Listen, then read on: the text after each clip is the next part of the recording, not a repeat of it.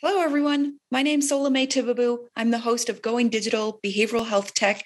Really pleased to have both Zac and John with us today. Um, before we get started, maybe we could just do some brief introductions. Uh, Zac, how about you first, and then John, please. Sure, I'm I'm Zac Imel. I'm the chief science officer and co-founder of uh, Lyssn.io. And I'm John Ciampi. I'm the CEO of Bright Heart Health.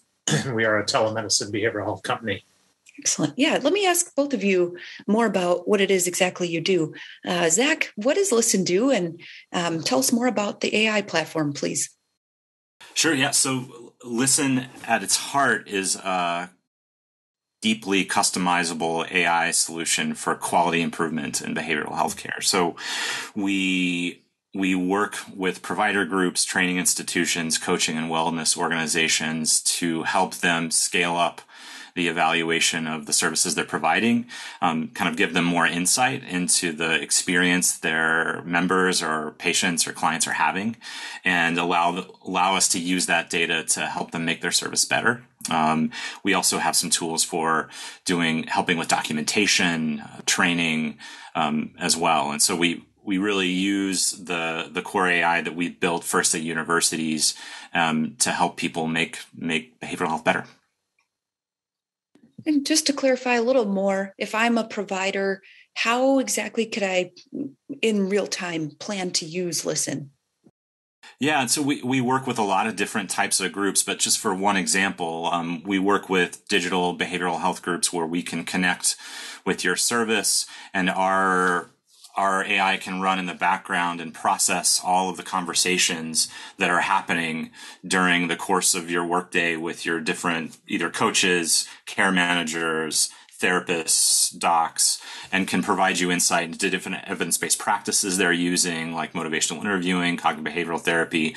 We provide a dashboard where you can use that for supervision to really scale up supervision.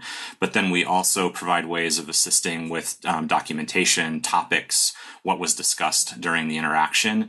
And we also provide like a higher level view where um, supervisors, administrators can see what's happening at kind of a global scale inside of their service. And so they can look and see, you know, where do we need to improve and where are we doing really well in terms of how empathic our therapists are being how much um, cognitive behavioral therapy is being used where where are there areas where we could maybe make some interventions to help it being used more those sorts of things Excellent. And so you're also partnering with other vendors. Um, let's segue now to um, John. Tell us a little bit more about Bright Heart Health, please, and, and what you do.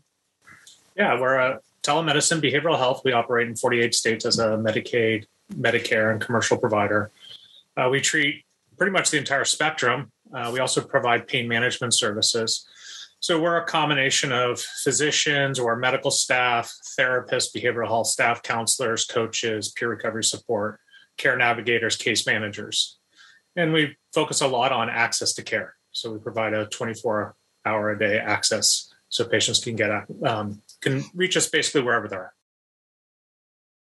And what were some of the things you were facing, challenges, issues that um, drew you to partnering with Lyssn?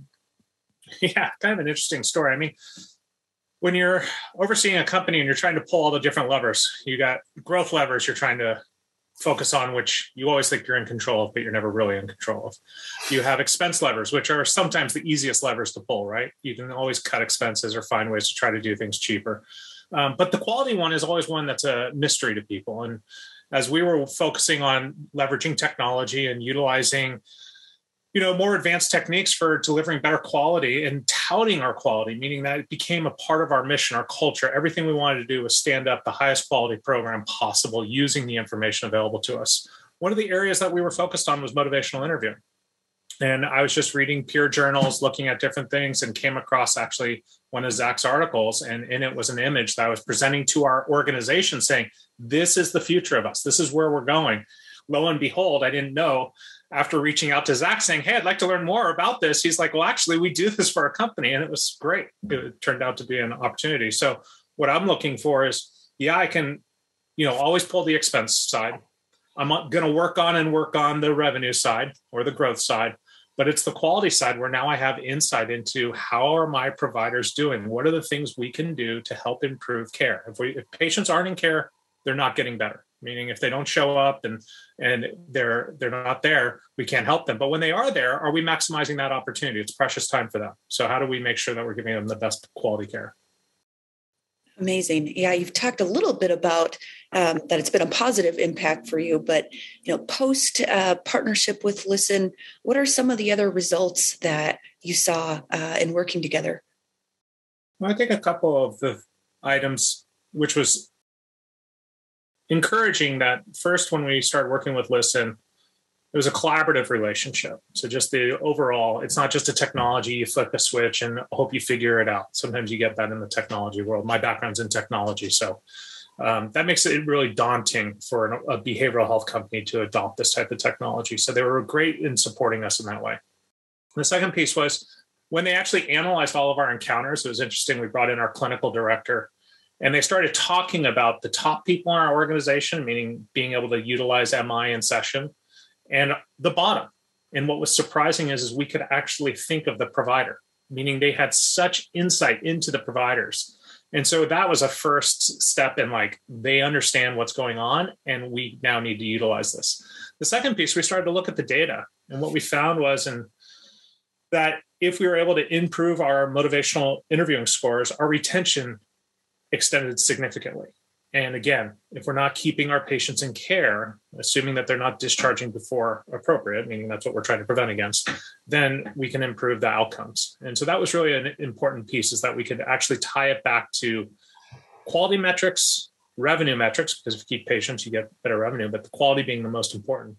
And then we could go back out to our payer sources, Medicaid, Medicare, commercial, the insurance plans and say, hey, look, as we're working with your members, we want to demonstrate to you the quality of our care, and here's how we're doing it.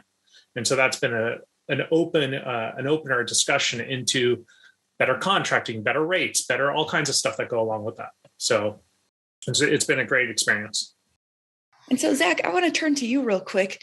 Um, in addition to Bright Heart Health, you mentioned working with other organization types. Can you give us some examples?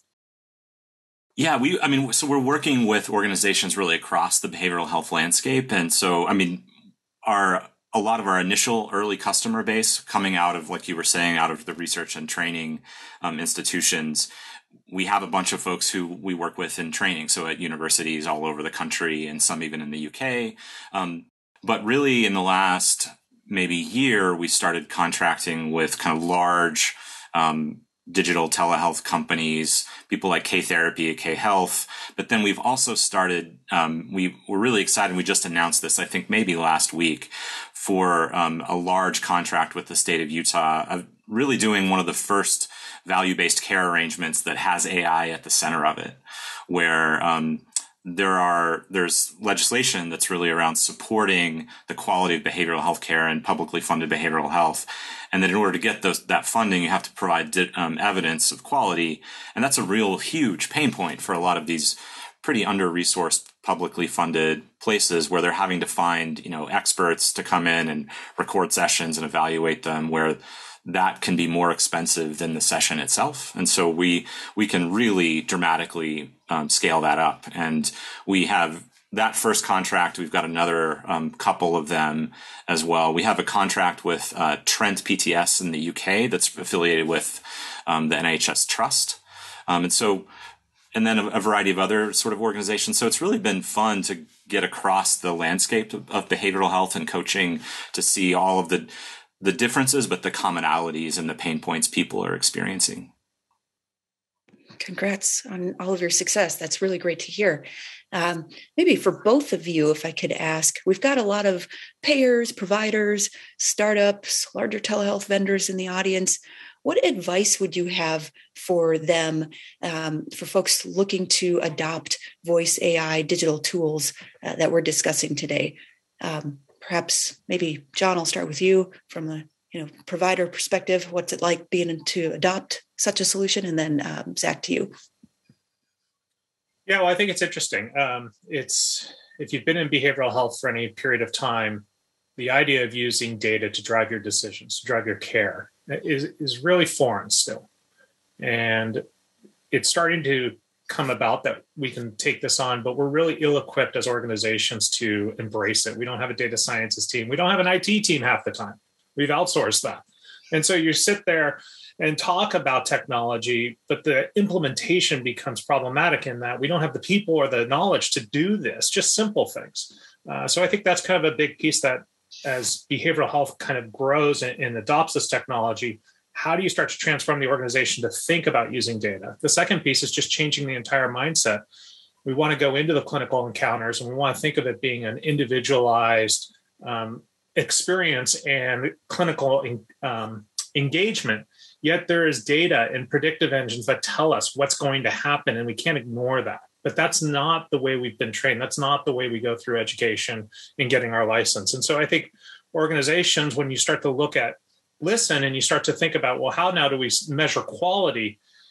It starts to challenge some of those boundaries. And what we found was that you had to then embrace it all the way up through our culture and our mission. And when you did that, then everyone seemed to gravitate towards it and understand how to use it. But without that, it felt like it was sort of like jamming technology on top of providers who are basically saying, I have enough. EMRs are problematic enough. Electronic prescribing is problematic enough. Why are you doing this to me? Um, so I think that's to me been the biggest uh, area that we had to focus on. Zac, any advice for audiences uh, interested in adopting this kind of technology? Yeah, I mean, I, I'm. I think my my advice is both sort of technical and clinical at some level, and I I, I do have a background as a psychologist, and you know, I have been in a, a director of clinical training and have been a therapist in, in the VA. And when when I was there um, doing full time clinical work, I definitely sort of like when I was playing baseball in high school, I had the realization that I am definitely not in the top ten percent of these folks. um, I thought I was fine. Um, I was doing good work. I was helping people, but there were I was working with these amazing therapists um, who were to me just like you know I don't know emotional athletes, right? Who were doing heroic things every day. And to me, the thing that was kind of frustrating is that they there was no way for anybody to know um, who these people were. And I got really curious about like how do we build tools to support those people. Um, how do we get out of the way, let them do their work, and then build an infrastructure that can learn from them and support the work they're doing? And so that that was really at the heart of the research we started doing trying to teach an AI to replicate some parts of human judgment for empathy, motivational interviewing, things like that.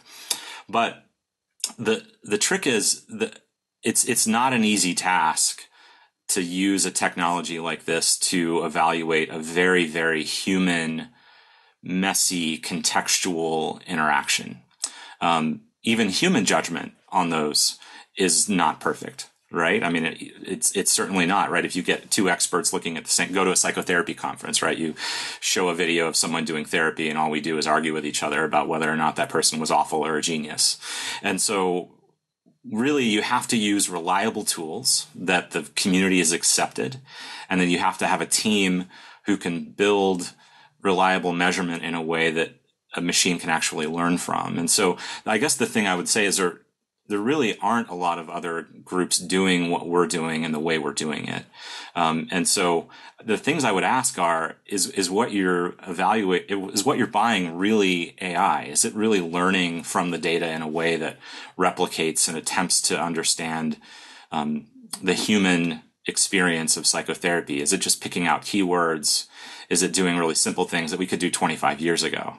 Um, and what's really been exciting about AI in the last decade really is the advances in new technology, but the the pairing of that technology with the clinical expertise, I think, is the thing that's really challenging.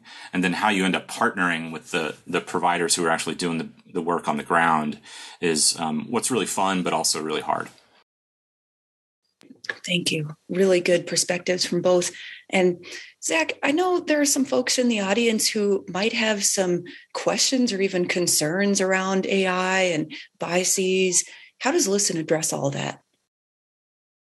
Yeah, I mean, often folks have the only thing they've heard about AI is that it, it's biased, right? And so it's it's a very real concern. Um, and I think some it's just a, a, tremendously complicated issue when you get into the actual real live even the scientific debate that's happening within the, the literature is that what's really cool about these new technologies is that they can learn from and eventually sort of replicate or pattern match human judgment They aren't perfect, but they get, can get pretty close if you give them good data.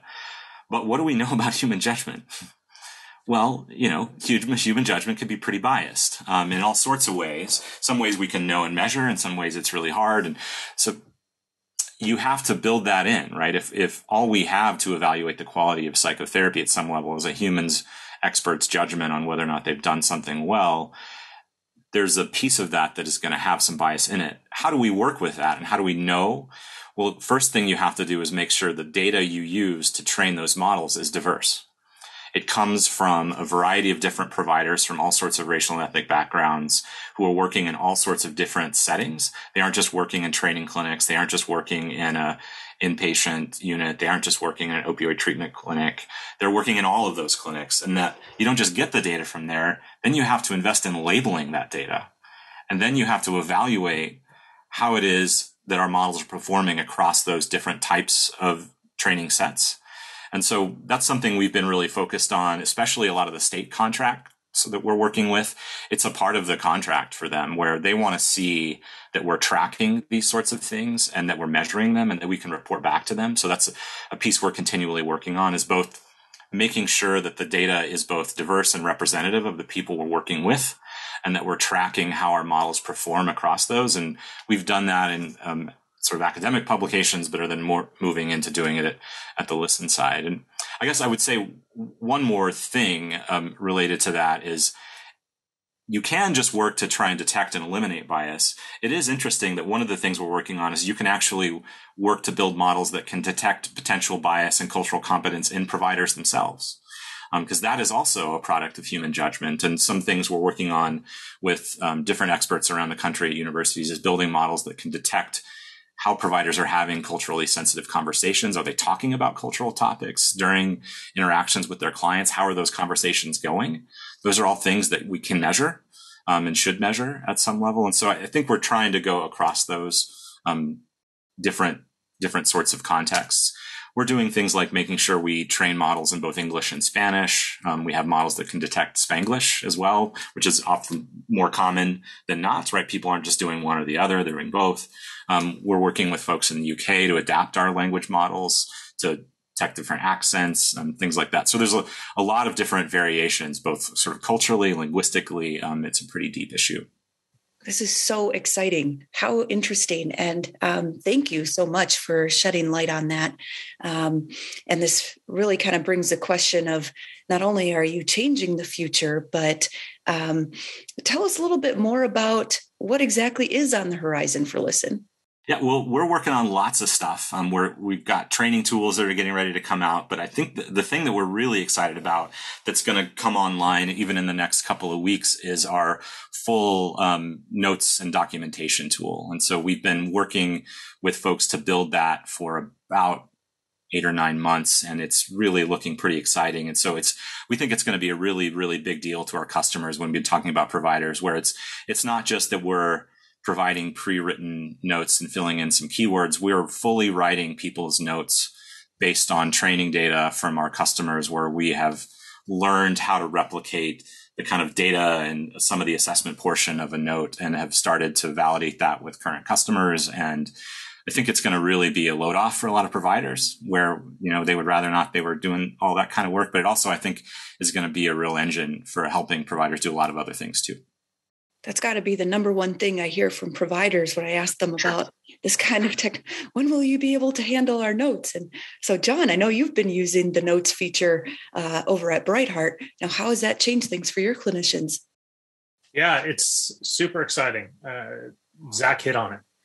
One of the biggest issues you face is burnout, and providers, EMRs, as much as they're great for capturing all the data, they're crushing the providers in terms of what they have to adhere to, document, and then have it audited. We staff an entire certified coding team who then comes in and then rejects all these. The providers just you know throw up their hands, and so it really creates a big issue. And we're already in a field where we're strapped for resources. We can't get enough resources. So anything that's causing an issue there turnover is a big expense. I talked about the expense side, um, and then I would also say just satisfaction. You know, am I am I really focusing on the patient, or am I focusing on how do I chart during the encounter? And those are conflicts. We don't want those conflicts. That compromises quality. So we started working with it. What's exciting is what Zac brought up is not only are we getting the documentation from the actual encounter, but now we're looking at how we automate the entire process. So we're not just talking about automating how we capture what was said in the in the encounter, but now we can compare it to what diagnoses are on the the patient's chart. We can see whether or not there was a prescription change. And all of a sudden we can start identifying CPT codes or billing codes that map to services that were provided that would have been maybe missed by the provider. So all of a sudden, you're taking it from the encounter occurs, you're charting the entire encounter, coding it, and shipping it off to the clearinghouse, and all that can happen in a day. The efficiency is unbelievable. The workload off the clinicians is unbelievable. It's a game changer in the field. And I'm excited that they went down this path because it's a, for us, when you look at expenses, this is a major area that doesn't generate any revenue other than it is a part of the artifact of the encounter itself. And so the question is, is obviously adhering to regulations and quality issues, but how do we do this in a good way and, and streamline the, the field or the work within the field? So it's exciting. Thank you both so much. This is obviously very game changing technology. I'm excited for our audience to learn more. Uh, John Ciampi from Brightheart, uh, Dr. Zac Imel from Lyssn. Thank you both. Um, where can folks find out more? Maybe John, then Zac? Yeah, certainly our, our website always is that's the easiest. We try to put a lot out there. Same here, Ella, L-Y-S-S-N dot I-O and, and on social media as well. Perfect. Thanks so much. Thanks so much for your time.